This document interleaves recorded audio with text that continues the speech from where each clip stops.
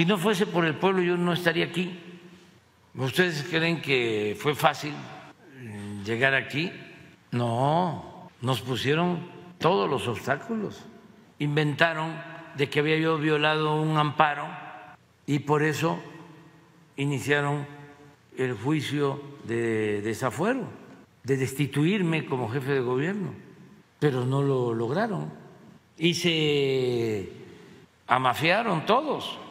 Pongo una entrevista que me hace Ciro, en donde ya me dice, sí, Andrés Manuel, pero tú ya estás condenado, ¿qué vas a hacer?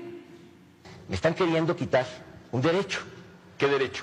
El derecho a participar políticamente. Participar en la contienda en, en el 2006. O sea, no es que haya yo violado la ley, o sea, es que no quieren. Para ellos sí que yo, violaste, para el Estado de Derecho sí lo violaste. El Estado del chueco. El Estado, como sí, lo quieras llamar. Este, mira, no violé la ley. Lo que quieren es atajarnos con miras al 2006. ¿Y sabes por qué?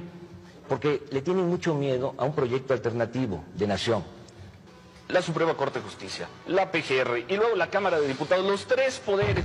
Andrés Manuel López Obrador pierde su fuero, se va a someter contra la justicia. Se, se cometería son una los tres poderes. gran injusticia. No le hace. Son los tres poderes. No le hace, pero estarían actuando de manera mafiosa. Mira, yo nunca he luchado por cargos públicos. Yo lucho por principios y lucho por ideales. Yo no tengo ninguna obsesión por la presidencia de la República. Yo en lo que sí voy a estar no sé qué me va a deparar el destino.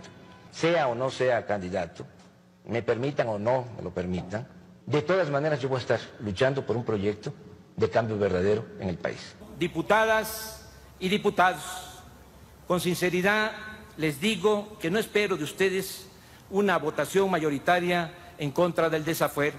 No soy ingenuo.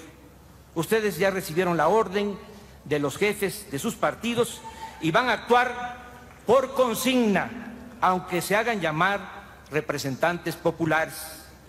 Ustedes me van a juzgar, pero no olviden que todavía falta que a ustedes y a mí nos juzgue la historia